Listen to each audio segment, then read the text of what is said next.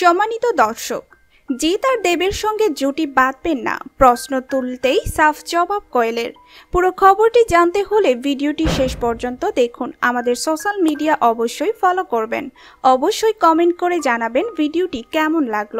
দেশ বিদেশের সব আপডেট পেতে আমাদের চ্যানেলটি সাবস্ক্রাইব করে বেল বাটনটি অন করে অল নোটিফিকেশন সিলেক্ট করতে ভুলবেন না কিন্তু। কোভিড নাইন্টিন ভাইরাসের উপদ্রব তো চলছেই, যার জেরে দেশের গণ্ডি ছাড়িয়ে বিদেশেও বন্ধ রয়েছে অনেক ছবির কাজ। এখন যদিও পরিস্থিতি একটু হলেও ভালোর দিকে, ধীরে ধীরে আবার লাইট ক্যামেরা অ্যাকশনের জগতে ফিরছেন নায়ক নায়িকারা। তবে কোয়েল মল্লিকের ক্ষেত্রে কিন্তু ক্যামেরার সামনে আসা বন্ধ ছিল অন্য কারণে।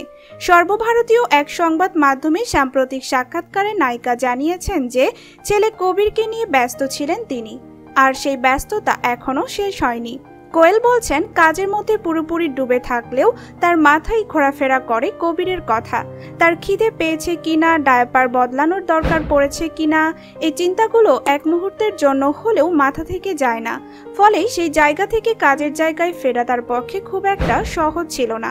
কিন্তু এখন যখন ফিরেছেন, উঠতে আরম্ভ করেছে অন্য এক প্রশ্ন। কোয়েল কি বাংলা ছবির দুই জনপ্রিয় নায়ক জিতার দেবের সঙ্গে আগামী দিনে কাজ করতে স্বচ্ছন্দ নন? প্রশ্নটা উঠছে এই কারণে যে বেশ কয়েক বছর ধরে নায়ক হিসাবে পরমব্রত চট্টোপাধ্যায়ের সঙ্গে অনেকগুলো ছবিতে দেখা যাচ্ছে কোয়েলকে।